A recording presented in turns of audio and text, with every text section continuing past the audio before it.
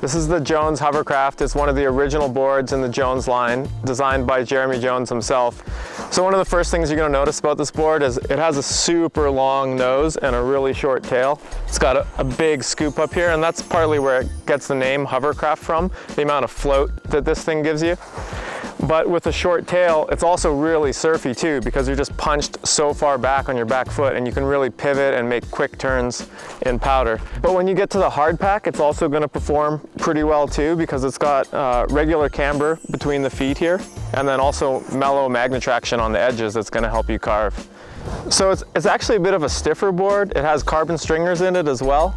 That's gonna help with your pop, but you're not really gonna notice that as much when you're riding powder. Really, it's the float that separates this thing and the way that it turns. So this board's also available as a split board, and you can get it in a super high-end, lightweight, all-carbon uh, Ultracraft model. So there you have it, it's the Jones Hovercraft Pow Slayer.